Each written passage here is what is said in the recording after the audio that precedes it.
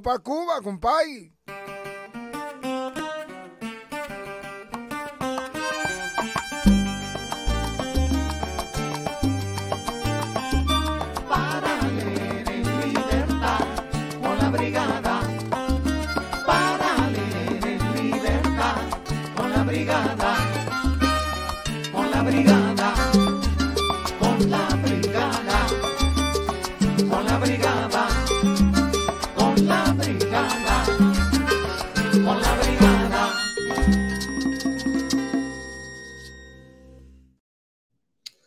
Buenas noches a todas y a todos. Bienvenidos al curso Cuba, una historia popular.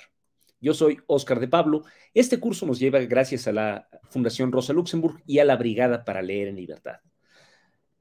Eh, antes de empezar, empiezo por anunciarles que ya estamos por comenzar el eh, remate, el quinceavo gran remate de libros y películas eh, en la explanada del Monumento a la Revolución, que va a ser del 5 al 9 de abril de 2003.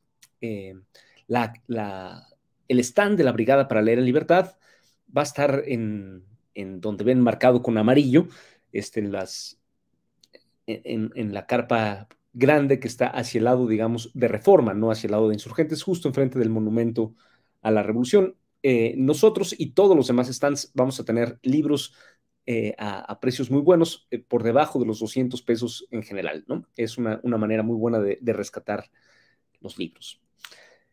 Eh, también les anuncio que el, próximo jueves a las 9 de la noche eh, queremos hablar, vamos, a, vamos, a, tener en el programa eh, para hablar en libertad una conversación en torno al, Poder Judicial de, México, que creo que va a estar muy, muy interesante. Como siempre, le, empiezo por recordarles que, que, todas las sesiones del curso quedan colgadas en, nuestras redes sociales, entonces pueden verlas desde el principio o escucharlas en su formato podcast, por si, así lo prefieren. Esta es apenas eh, la segunda sesión del curso propiamente dicha.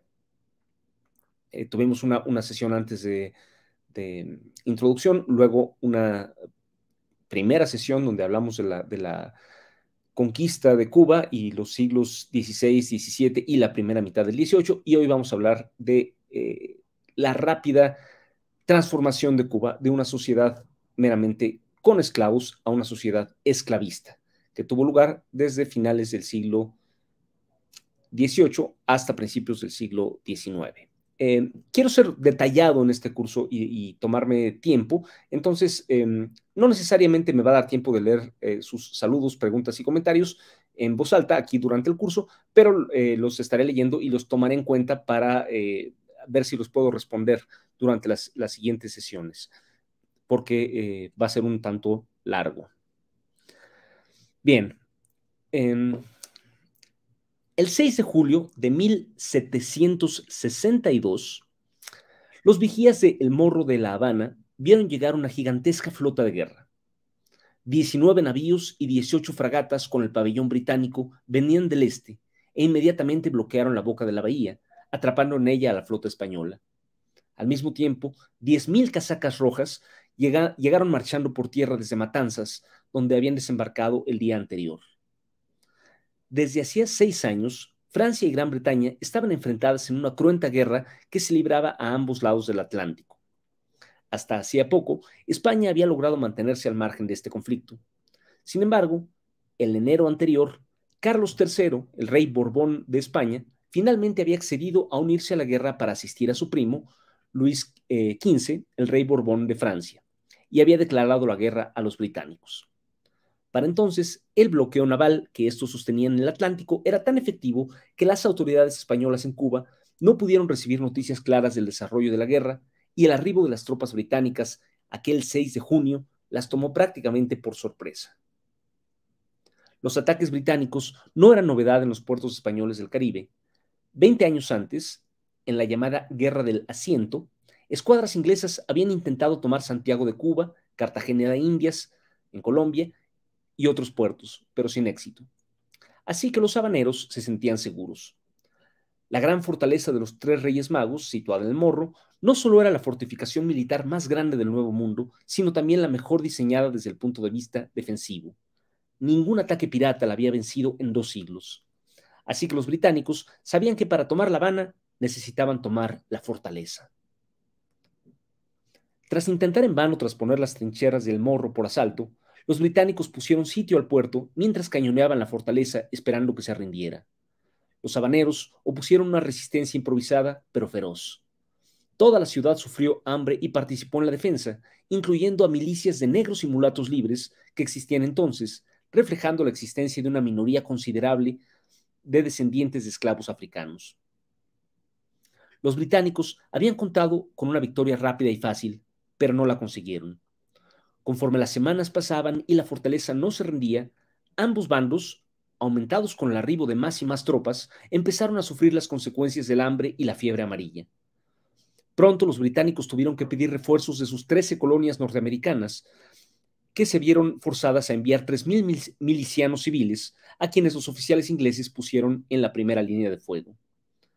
Finalmente, la superioridad de los británicos se impuso y el 13 de agosto de 1762, el gobernador español de Cuba, Juan de Prado, se rindió.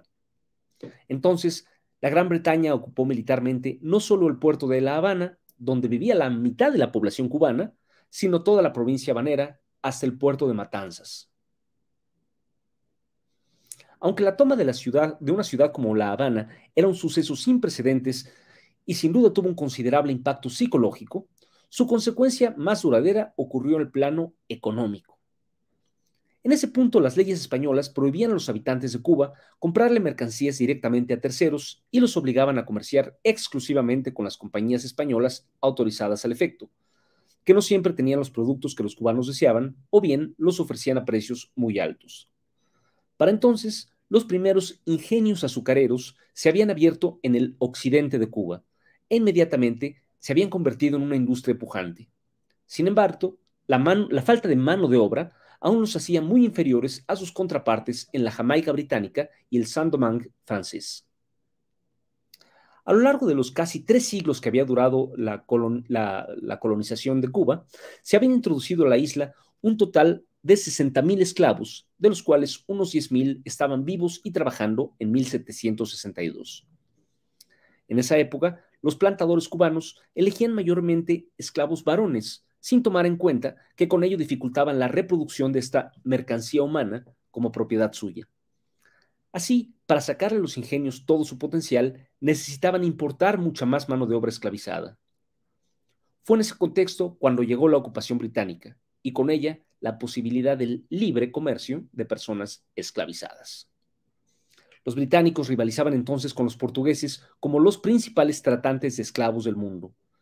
Así que, no bien empezó la ocupación de La Habana, empezaron a ofrecer su mercancía a los plantadores del occidente cubano a precios mucho más bajos y en números mucho más altos que los que podían ofrecer los españoles.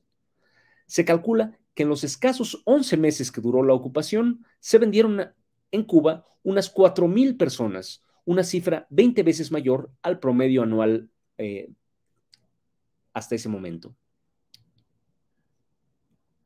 A principios del año siguiente, 1763, la guerra terminó.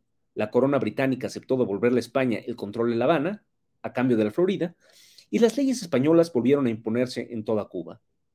Para entonces, los plantadores de la región no solo habían ampliado en un 40% sus dotaciones de esclavos, sino, lo que es más importante, se habían dado cuenta de lo mucho que podrían enriquecerse si seguían por ese camino.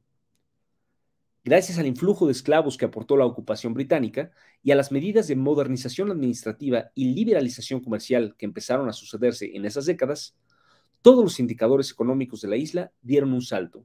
Producción, población, importaciones, exportaciones, impuestos, etc.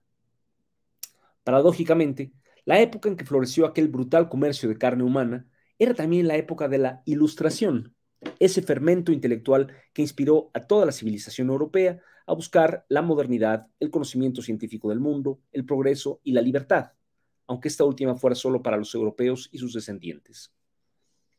Para entonces había ascendido al trono de España Carlos III de Borbón, uno de los típicos déspotas ilustrados que buscaban modernizar y racionalizar la administración de sus reinos.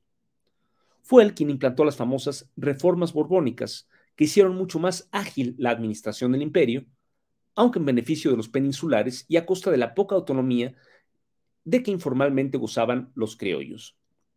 Como parte de aquel esfuerzo iluminista, en 1774, o sea, 12 años después de la ocupación británica de La Habana, las autoridades españolas de Cuba condujeron un censo para conocer exactamente cuánta gente había en la isla. Gracias a eso, hoy sabemos que para 1774 Cuba tenía unos 172 mil habitantes. De ellos, una cuarta parte eran esclavos, otro 20% eran negros y mulatos libres y el 55% restante se consideraban blancos, fueran criollos, peninsulares o canarios. De esta mayoría blanca, solo una porción ínfima pertenecía a la élite. El resto eran campesinos y trabajadores pobres.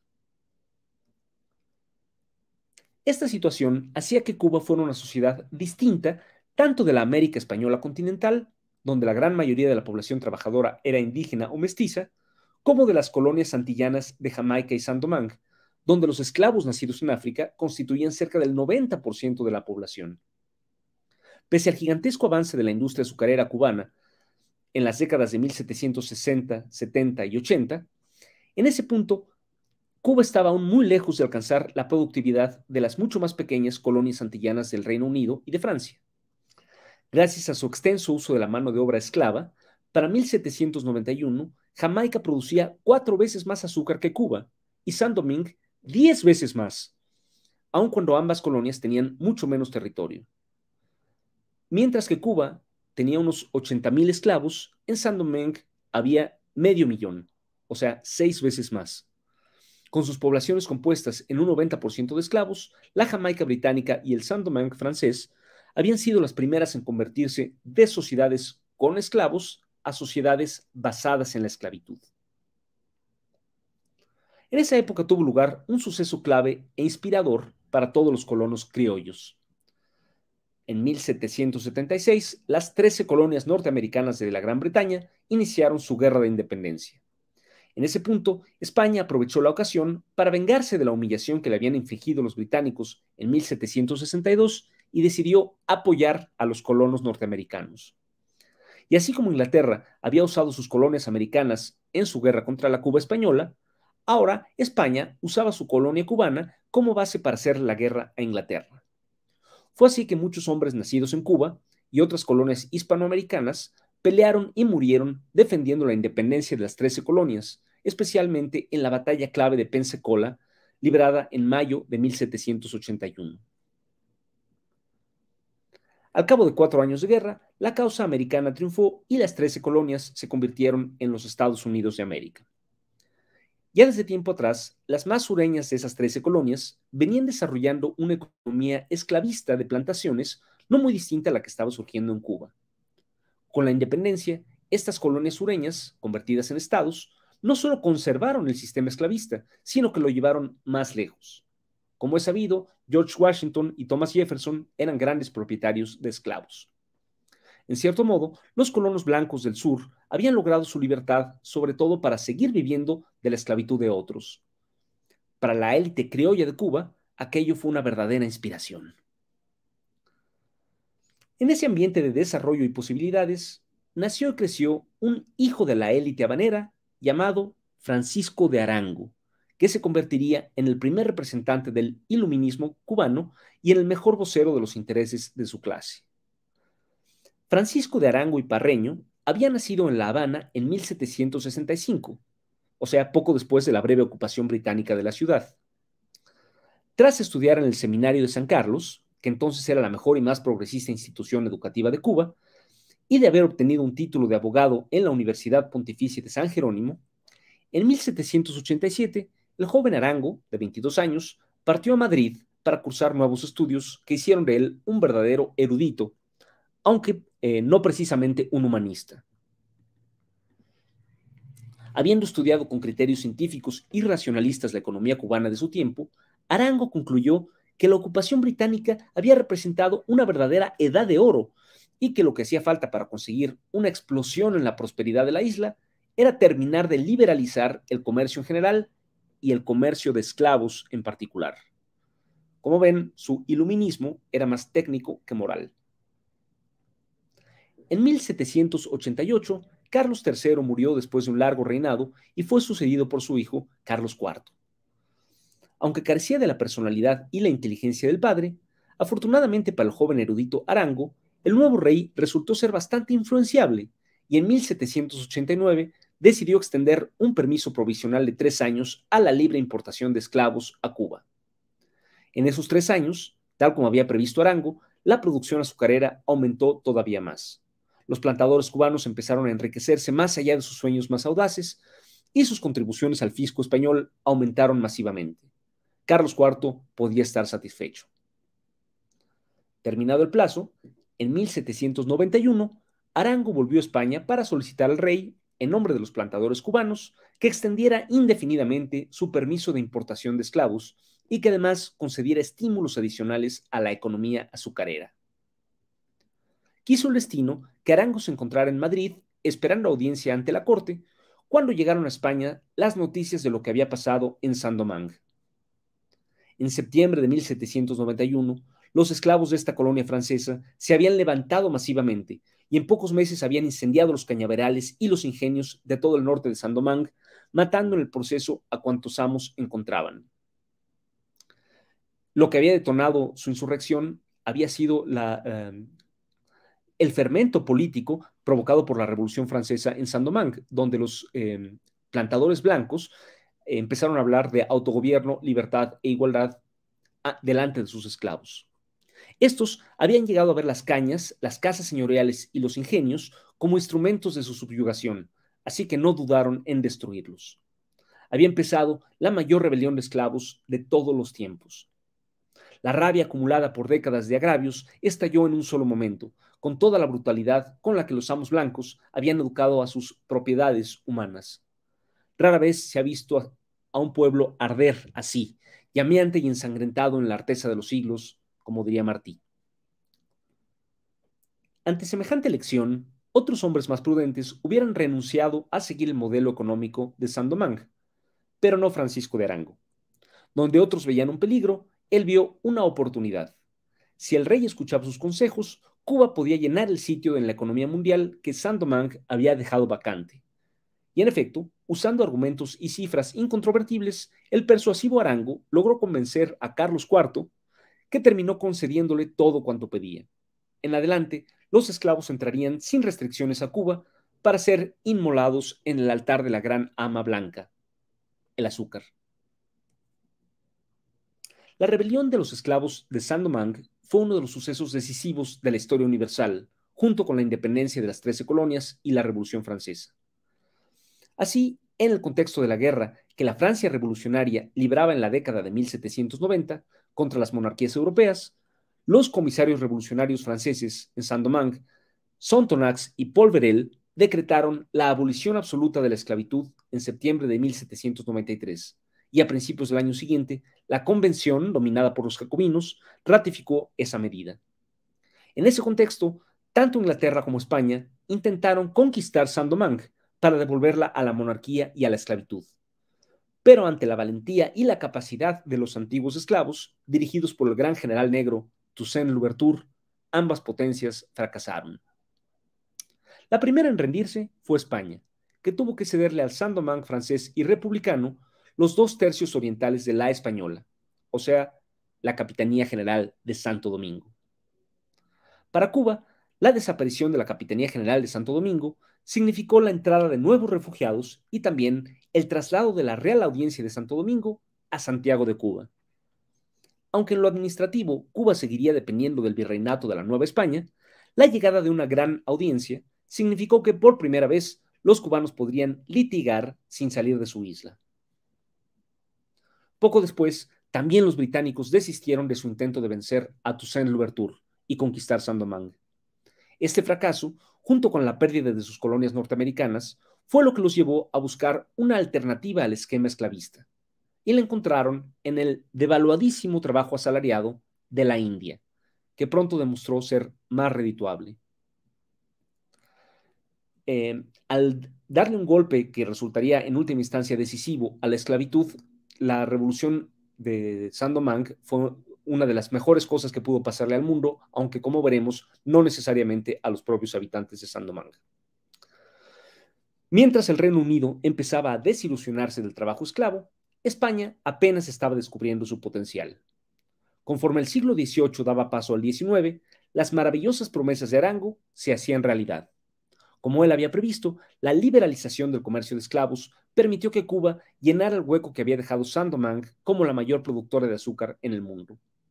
Además, conforme los plantadores blancos de Saint-Domingue llegaban a Cuba como refugiados de la Revolución Negra, como gusanos, si se quiere, traían su capital, su cultura y su know-how, es decir, su conocimiento de cómo hacer rendir las plantaciones azucareras con tecnología y sobre todo con muchos esclavos.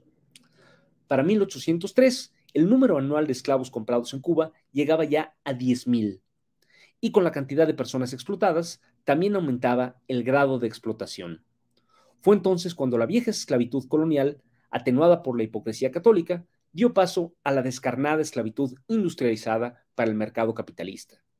Si antes los amos eh, eh, conocían personalmente a todos sus esclavos y se sabían hasta sus nombres, a partir de entonces sobre todo en el occidente de, Cuba, las grandes plantaciones eh, se convertirían en, una industria en la que los esclavos eran vistos como poco menos que tornillos. Para entonces, el ímpetu revolucionario del pueblo francés se había agotado y un general ambicioso, Napoleón Bonaparte, se había puesto al frente de Francia con la intención de estabilizar el nuevo orden e incluso restaurar varios aspectos del viejo.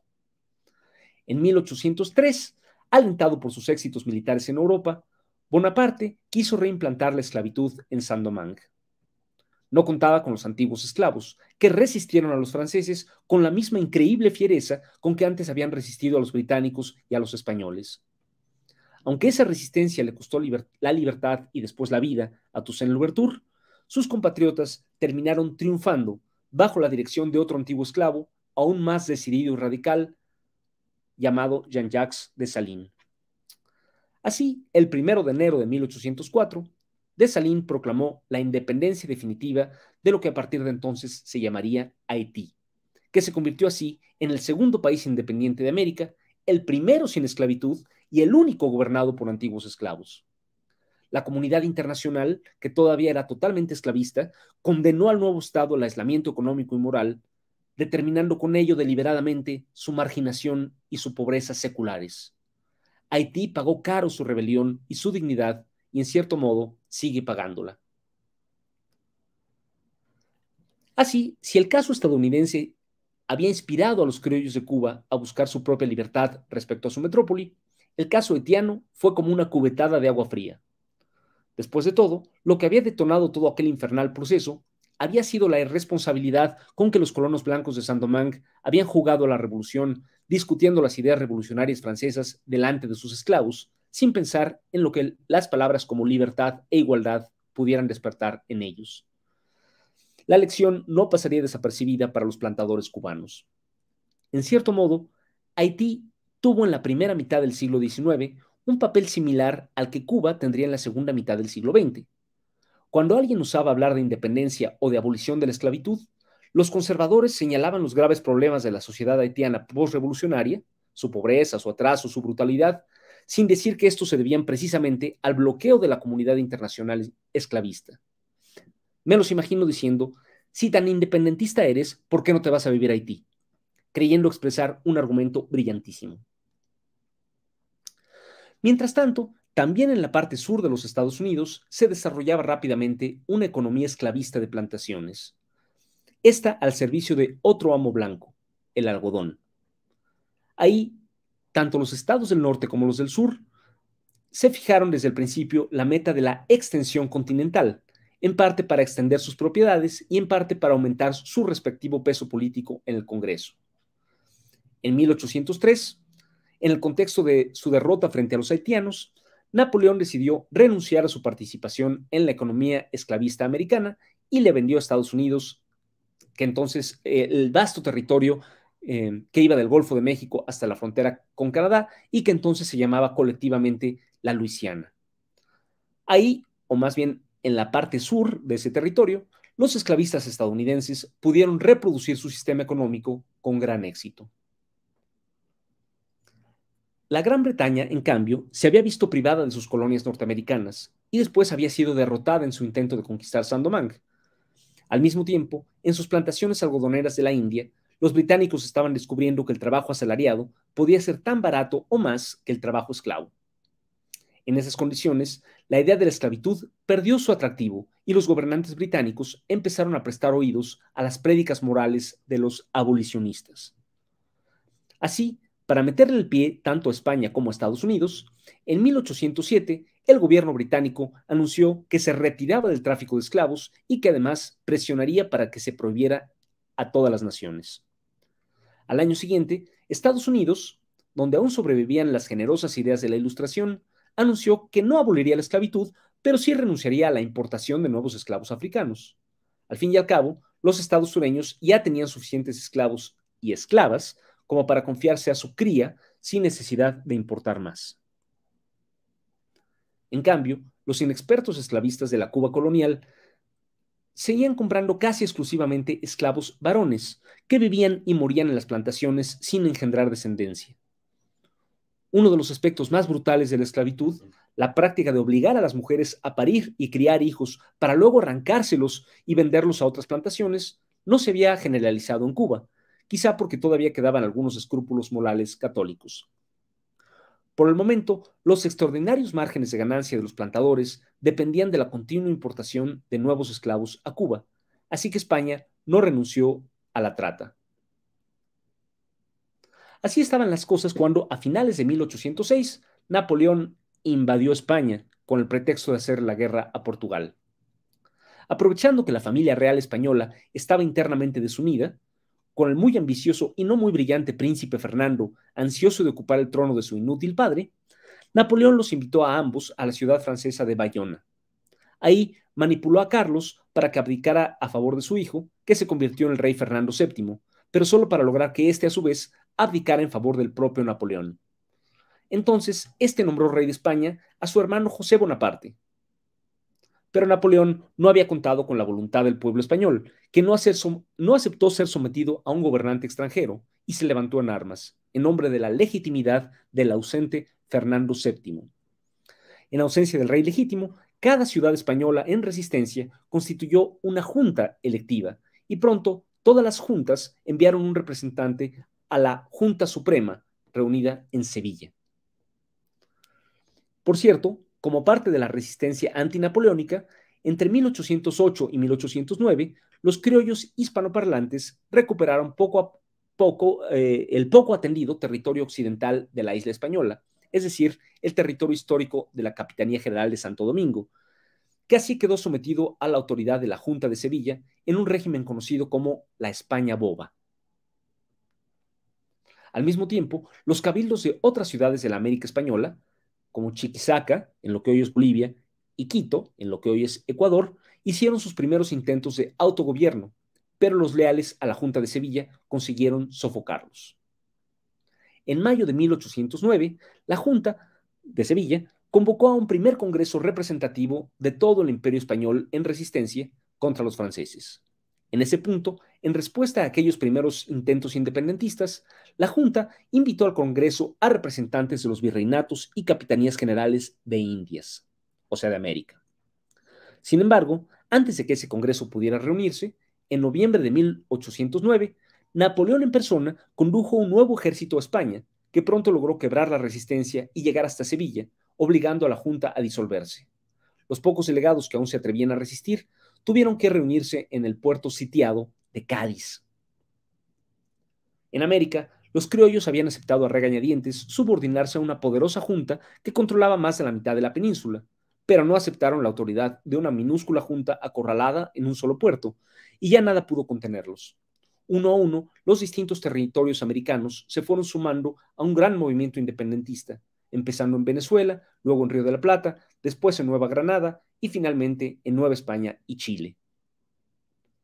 Hay que recordar que en esa época la mayor parte de la población de, América era analfabeta, que no existían medios de comunicación ni menos organizaciones de masas, como los sindicatos o los partidos políticos.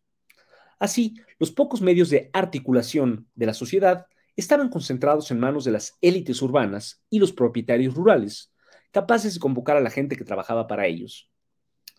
No es pues sorprendente que los iniciadores de aquellos movimientos independentistas, desde Miguel Hidalgo en la Nueva España hasta Bernardo O'Higgins en Chile, pasando por los Montúfar en Ecuador, Nariño, Santander y el mismísimo Simón Bolívar, pertenecieran a la élite blanca, educada y propietaria.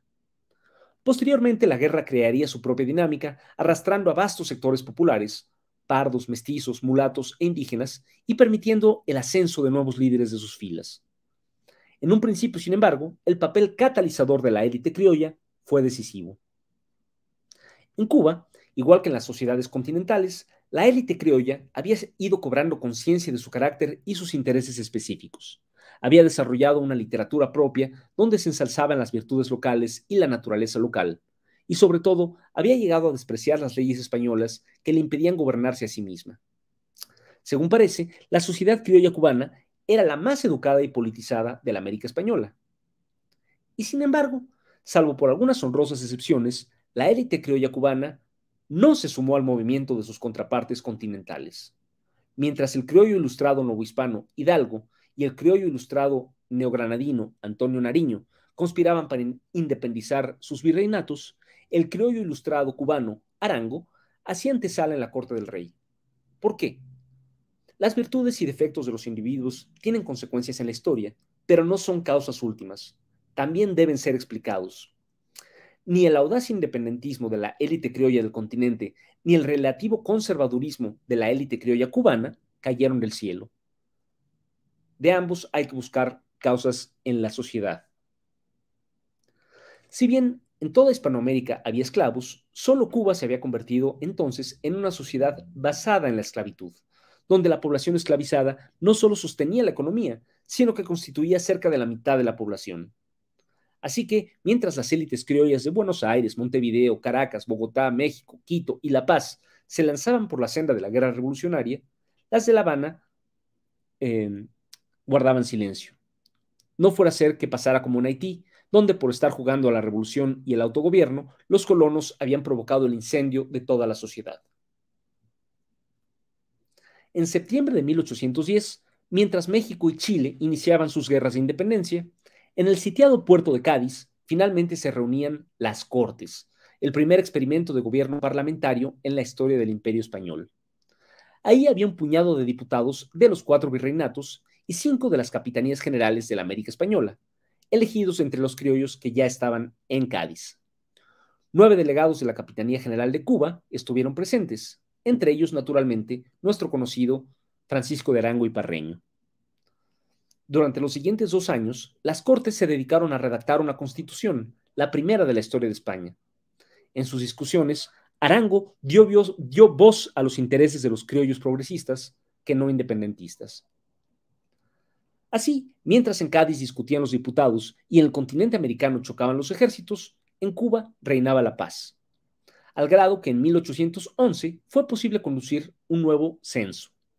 Este reveló que en la isla había ya 600.000 habitantes, de los cuales solo el 40% eran blancos. Por primera vez, los blancos estaban en minoría. Del 60% restante, dos terceras partes, es decir, casi la mitad de la población, eran esclavos, el resto eran personas libres de color que probablemente tomarían el bando de los esclavos en caso de una rebelión. Estos datos confirmaron lo que los colonos blancos ya sabían. Estaban viviendo sobre un polvorín y no convenía jugar con fuego. Durante los debates constitucionales de Cádiz, el diputado asturiano Agustín de Argüelles y el quiteño José Mejía Lequerica propusieron la abolición de la esclavitud pero su propuesta fue rechazada por la abrumadora mayoría. En cambio, gracias a la influencia de criollos moderados como Arango, la Constitución reconoció audazmente que los territorios americanos no eran colonias, sino provincias de la monarquía constitucional, con los mismos derechos que las de la península. Esta hermosa declaración, sin embargo, no correspondía del todo a la realidad. La representación popular que se concedía era artificialmente asimétrica no solo se perpetuaría la esclavitud y por lo tanto se le negaría el derecho a la representación a los esclavos de origen africano, sino que también se le negaría a sus descendientes, los negros, zambos y mulatos libres, lo cual no solo era una injusticia contra esta población, sino que reducía radicalmente el peso electoral de las provincias americanas en el gobierno del imperio, pues en lugares como Cuba, las personas de ascendencia africana constituían más de la mitad de la población. Así, una población mucho más grande que la de España tendría una representación parlamentaria mucho más pequeña. Además, el gobierno central español se reservaba el derecho a nombrar a los gobernantes locales de América, y los gobernantes nombrados fueron todos peninsulares. Por ejemplo, como capitán general de Cuba, el flamante régimen constitucional español nombró a, José Juan Ruiz de Apodaca. Nunca, ni siquiera en sus momentos más liberales, llegaría el gobierno central español a poner al frente de Cuba a un capitán general nacido en la propia Cuba. Naturalmente, el que la élite cubana no se sumara al movimiento independentista de 1810 no significa que en la sociedad cubana no se hubieran acumulado tensiones similares a las que habían estallado en otras partes, agravadas por la tensión principal de la esclavitud. Así, precisamente el 10 de marzo de 1812, el día anterior a la promulgación de la Constitución de Cádiz, cuyo texto negaba todo derecho a la población de color, en Cuba fue descubierta una vasta conspiración independentista y abolicionista en la que participaban esclavos, libertos y personas de color libres. Su dirigente era un artesano autodidacta descendiente de esclavos, aunque nacido libre, llamado José Antonio Aponte. Igual que Francisco de Arango, Aponte había nacido en La Habana un par de años antes. Su vida, sin embargo, había sido totalmente distinta. Su padre había formado parte de las milicias de color que defendieron La Habana de los ingleses en 1762, y él mismo, Aponte, siendo joven, había combatido con el ejército español en la batalla de Pensacola. En el contexto de la crisis de legitimidad de la corona española, Aponte había empezado a conspirar para liberar a Cuba simultáneamente de la esclavitud y del dominio español. Además de su, de su prestigio como veterano de guerra, Aponte tenía la autoridad adicional de ser líder del llamado Cabildo de Changó Tedún, una rama de la religión sincrética afrocristiana conocida como santería. Aunque su conspiración fue muy extensa y bien organizada, la total ausencia en ella de la élite criolla la privó de alcance y cohesión nacional. Al final, en marzo de 1812, Aponte fue descubierto y en abril fue ejecutado en la horca, junto con otros cinco negros libres y dos esclavos. Otros muchos fueron condenados a largas sentencias de cárcel. Curiosamente, la prueba decisiva que el tribunal usó para condenar a Aponte fue un cuaderno de dibujos y pinturas, donde éste había plasmado su visión política y su orgullo como descendiente de esclavos. Por desgracia, este cuaderno de dibujos se perdió, pero sobreviven las descripciones que de él se hicieron durante el juicio. Aunque Aponte no fue ni mucho menos el primer afrodescendiente cubano en rebelarse contra la esclavitud, sí fue el primero cuya personalidad específica quedó registrada en la historia. Tanto el gobierno liberal de España como la Constitución de Cádiz, con su reconocimiento retórico de la igualdad de los virreinatos y capitanías generales como provincias de España, solo estuvieron vigentes durante dos años. En mayo de 1814, con Napoleón ya expulsado de España, Fernando VII volvió a ocupar el trono e inmediatamente abolió la Constitución y restauró el viejo orden absolutista. Los limitados derechos y libertades que Cuba y las demás colonias americanas habían obtenido como supuestas provincias españoles iguales a las otras, se perdieron. Aunque nadie lo supiera entonces, con la restauración borbónica no terminaba sino el primero de muchos ciclos de revoluciones liberales y contrarrevoluciones monárquicas que sacudirían la vida política de España hasta bien entrado el siglo XX en la América continental, aquella primera restauración absolutista dio un nuevo impulso a las fuerzas militares de España y por lo tanto marcó el punto más bajo en la lucha independentista. Durante el año que siguió, los ejércitos españoles reconquistaron Venezuela, Nueva Granada y Chile. A finales de 1815, el cura Morelos fue derrotado y ejecutado en la Nueva España. En el invierno de 1815 a 1816, Bolívar tuvo que buscar refugio, horror de horrores, en la República de Haití, cuya ayuda militar se vio forzado a aceptar. Hasta el momento, el movimiento de Bolívar había sido mayormente blanco y no se había preocupado gran cosa por la suerte de los esclavos, pero la dinámica de la guerra y la ayuda de Haití lo habían obligado a radicalizarse, exactamente como los conservadores habían advertido que pasaría. Para Cuba, la restauración absolutista significó la pérdida de derechos civiles como la libertad de expresión y un cambio en el personal gobernante. pero no interrumpió ni mucho menos la incontenible marcha de la modernización socioeconómica capitalista sobre la base de la esclavitud. De hecho, por mucho que odiara el liberalismo, en lo político, Fernando VII aprobó medidas bastante liberales en lo económico, como la eliminación del estanco del tabaco en 1817 y después la plena libertad de comercio. Ahora bien, la derrota de Napoleón no solo había permitido la restauración del absolutismo en España, también había hecho del Reino Unido la principal potencia del mundo atlántico. Como ya dije, tras perder sus colonias norteamericanas, el Reino Unido había rechazado la trata de esclavos y pronto empezó a presionar porque el resto del mundo hiciera lo propio. Así, en 1817, logró imponerle a una renuente España el compromiso de prohibir la importación de nuevos esclavos a América en el plazo de dos años.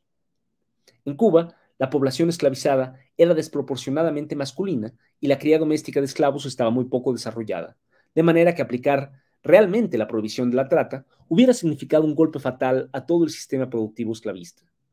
Sin embargo, no hay nada más fácil que romper una ley cuando las autoridades son las primeras interesadas en infringirla. Y las autoridades españolas eran las más interesadas en seguir introduciendo esclavos a la isla. Además, no faltaban tratantes. Los portugueses seguían llevando miles de esclavos de sus posesiones africanas a su gran colonia sudamericana, Brasil, y no les costaba trabajo pasar por Cuba a vender una parte de su mercancía humana. Además, estaban los estadounidenses. Su propio gobierno había prohibido a los tratantes de esclavos eh, que llevaran su mercancía a su territorio, pero no que la llevaran a otras colonias. Así que en los siguientes años, empresarios estadounidenses, tanto del sur como del norte, libre, se enriquecieron financiando, la trata ilegal de esclavos a Cuba, y pronto ellos mismos adquirieron plantaciones azucareras e ingenios en la Cuba española, así como dotaciones de esclavos para trabajarlos. Junto con la esclavitud en el propio territorio estadounidense, la participación de inversionistas estadounidenses en la venta de esclavos a Cuba ayudó a financiar la industrialización de Estados Unidos, que en ese siglo se convirtió en una potencia. Los descendientes de los esclavos vendidos ilegalmente en esas décadas a Cuba, que fueron quienes pagaron con su sangre el florecimiento industrial estadounidense, o eh, al propio Estados Unidos, hoy viven tanto en los guetos estadounidenses como en las derruidas ciudades de Cuba sometidas al bloqueo estadounidense. El caso es que, aunque ilegalizada, la importación de esclavos a la Cuba española no se detuvo. En 1818, un año después de que España suscribiera la prohibición de la trata, entraron a la isla nada menos que 25.000 esclavos en 12 meses, número superior al que se había introducido en los primeros dos siglos y medio de la colonia. Ese año, Francisco de Arango, el intelectual criollo que había soñado con la libre importación de esclavos y había adivinado que llevaría a un auge sin precedentes en la producción azucarera, regresó a su natal Cuba después de una prolongada estancia en España. Estando ya, había podido leer las cuentas de la economía cubana y seguramente se había sentido muy satisfecho. Sin embargo, al llegar a La Habana, pudo ver con sus propios ojos la escala del horror y el sufrimiento que su sistema causaba a sus víctimas directas, así como la impronta de brutalidad con que marcaba a toda la sociedad cubana. Cuba se había convertido de una sociedad con esclavitud en una sociedad esclavista, con toda la crueldad que ello trae aparejado. Hay que reconocer que a partir de entonces, Arango se sumaría a la exigencia de impedir realmente la trata. Nadie le hizo caso a ese respecto. En cambio, logró convencer al gobierno de Fernando VII de complementar la masiva importación de africanos, alentando la migración de trabajadores blancos, fueran peninsulares o canarios, ofreciéndoles pasaje gratis, pensión alimenticia y una parcela de tierra. Estos emigrantes eh, blancos, peninsulares o, canarios terminarían eh, volviendo, reduciendo de nuevo la proporción de personas afrodescendientes a un poco menos de la mitad. Si el primer régimen constitucional español había durado solo dos años, la primera restauración absolutista duró solo seis. En enero de 1820 triunfó una nueva revolución liberal en España, y aunque Fernando VII conservó el trono, se vio obligado a jurar la Constitución de Cádiz y a convocar nuevamente a las Cortes. Una consecuencia inmediata de aquella revolución fue que España se vio imposibilitada de mandar refuerzos a sus colonias americanas, de manera que los movimientos independentistas empezaron a cosechar victorias, ahora sí, definitivas. Además, ante el nuevo liberalismo de la metrópoli, en la Nueva España, el ala más conservadora de los criollos, encabezada por Agustín de Iturbide, prefirió separarse de la España liberal y pactar con los viejos insurgentes sobre la base de una independencia socialmente conservadora. Poco después, en diciembre de 1821, la España Boba, es decir, el territorio de la Capitanía General de Santo Domingo, también consiguió su independencia, declarándose el Haití español independiente. La guerra y después la derrota del Imperio español en esos territorios, especialmente Venezuela y Santo Domingo, produjo la emigración de miles de personas a la Cuba colonial. Muchos eran criollos leales a España que buscaban seguir viviendo como súbditos de la corona. Pero otros, muchos más, eran personas comunes a quien la guerra había arruinado o que simplemente buscaban evitar las represalias de, de algún caudillo o facción enemiga victoriosa. En el caso dominicano, que los cubanos tenían más cerca, la independencia produjo lo que a muchos blancos les pareció el peor resultado posible, no bien se retiró el ejército español del territorio dominicano, la vecina República de Haití, mucho más densamente poblada y por lo tanto más poderoso en la militar, lo invadió desde el oeste. Para entonces, Haití había experimentado la forma de gobierno imperial bajo de Salín y Christophe, pero había terminado por convertirse en una república. Fue esta república la que dirigió la invasión del territorio dominicano en los primeros días de 1822. Apenas llegaron, las fuerzas haitianas de ocupación liberaron inmediatamente a los esclavos, sin darle a sus amos ningún tipo de indemnización, e impusieron en toda la isla española un gobierno negro.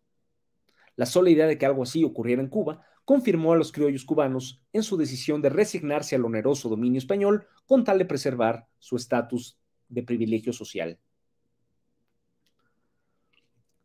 Mientras tanto, el nuevo régimen constitucional de España convocó a todos los territorios del imperio, incluidos otra vez los territorios americanos que aún le quedaban, a elegir diputados para enviarlos a las recién inauguradas Cortes. Esta vez, la delegación cubana ya no incluía al viejo Francisco de Arango, pero sí a otro hombre igualmente notable que también supo expresar la conciencia criolla ilustrada de la isla, aunque de una perspectiva más humanista y quizá más cristiana. el sacerdote habanero de 34 años, Félix Varela. Félix Varela Morales había nacido en La Habana en 1788. Pertenecía pues a la misma generación que Simón Bolívar. Igual que Arango, había estudiado en el prestigioso seminario de San Carlos. Para cuando fue elegido diputado a las Cortes, Félix Varela llevaba ya 10 años impulsando diversas instituciones educativas con vistas a modernizar la enseñanza y el pensamiento de la isla. Al llegar a España, en la primavera eh, de 1823, el padre Varela presentó varias iniciativas audaces a las Cortes, entre ellas una encaminada a darle a Cuba un estatus autonómico, otra a reconocer a los países americanos ya independizados y otra más a abolir la esclavitud. Todas fueron rechazadas. Reveladoramente, fueron los otros diputados cubanos quienes más protestaron contra la idea de la abolición de la esclavitud y quienes más contribuyeron a su fracaso. Por cierto, tampoco aquel segundo gobierno constitucional español se animó a permitir que un cubano gobernara Cuba.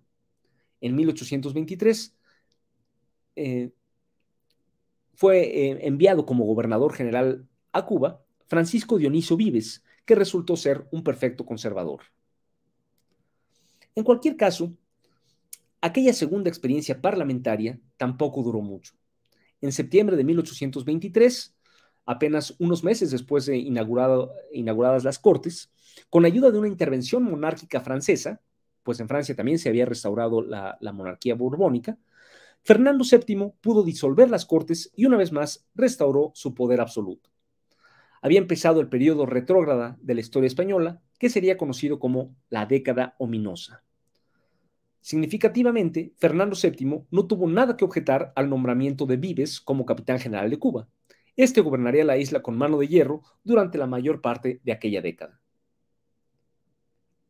Tras la restauración absolutista, muchos liberales fueron arrestados en España y Félix Varela tuvo que huir para evitar las represalias. Como tampoco podía volver a la Cuba española, se dirigió a Estados Unidos y se estableció en Filadelfia, una de las ciudades más progresistas. Ahí, casi inmediatamente, Varela fundó un periódico en castellano, al que tituló El Habanero, que después trasladaría a Nueva York.